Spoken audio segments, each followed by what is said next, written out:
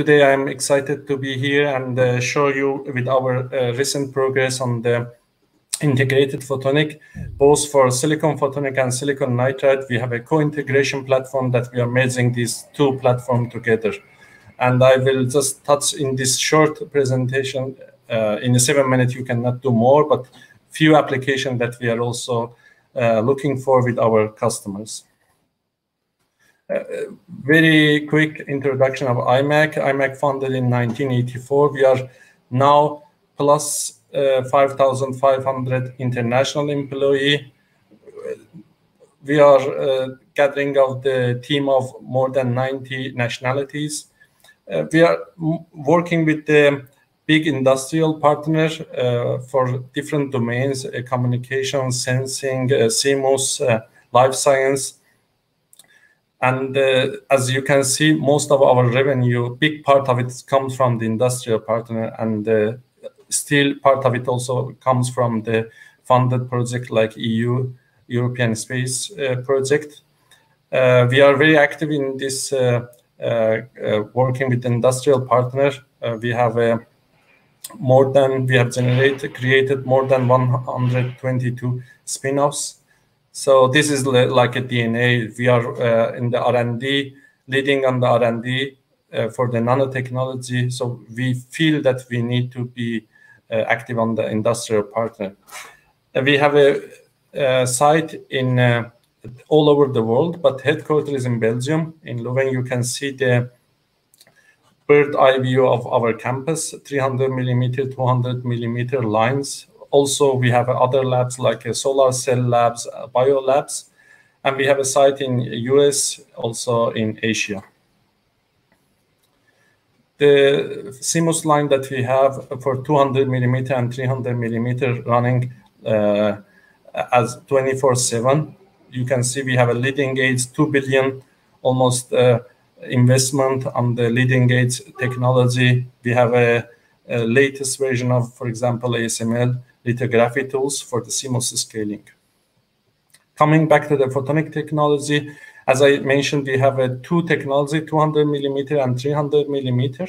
So I will just briefly introduce this technology. So on the silicon nitride, we have a, a silicon nitride waveguide uh, uh, stack between two silicon oxide. We have a tight process control for this uh, silicon nitride. It, it is it can be PCVD or LPCVD. Uh, for the LPCVD, we have a very good also insertion loss or uh, propagation loss uh, in the C-band, also on the visible domain. We have all the basic functionality, as you can see here, the basic building blocks like grating couplers, MMI couplers, ring resonators, and the spectrometer. And we, this is the fully flexible platform. You can just have a flexibility in the thickness of the stack, on the material of the stack, opening of the cladding for sensing application, trends for the fiber or hybrid coupling with the laser. We have also advanced platform of silicon photonic that we are also including silicon nitride as a co-integration. As you can see, this is more uh, complex stack, mainly developed for the communication purpose, but we are using this platform also for other application like a LiDAR biosensing with the, all the functionality, active functionality like a photodiode that we have here, uh, modulator we have. Uh, later also I will mention that we are also integrating laser uh, in this in the wafer scale in this platform. And the basic building block you can see here. So I mentioned laser integration. This is the new initiative at IMEC. We are internally developing this. Initial result we have shown uh, we can couple couple of milliwatt uh, power directly to the silicon uh, silicon nitride waveguide. As you can see, this is the flip chip bonding technology on the wafer scale, both for 200 millimeter and 300 millimeter. And uh, we are uh, currently aiming for the target uh, below 2 dB insertion loss per facet. And some activities also in parallel for the SOA integration or RSOA integration for the uh, external cavity laser, for example, integration are going on. Hopefully, we are uh, aiming to uh, open this platform for the customer in uh, Q2 of next year.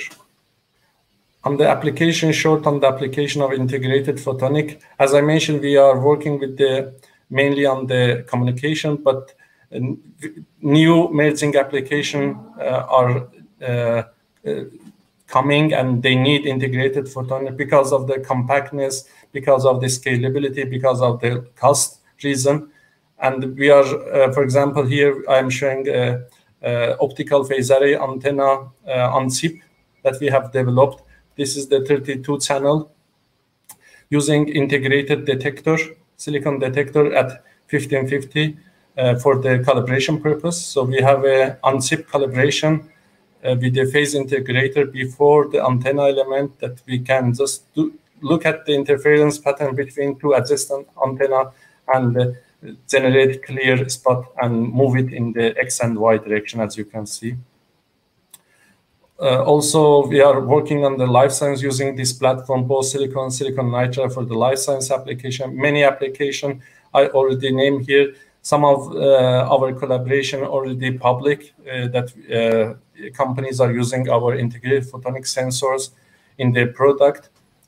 And uh, some uh, are confidential here, for example, on the lab on chip macroscopy, spectroscopy OCT, we are active.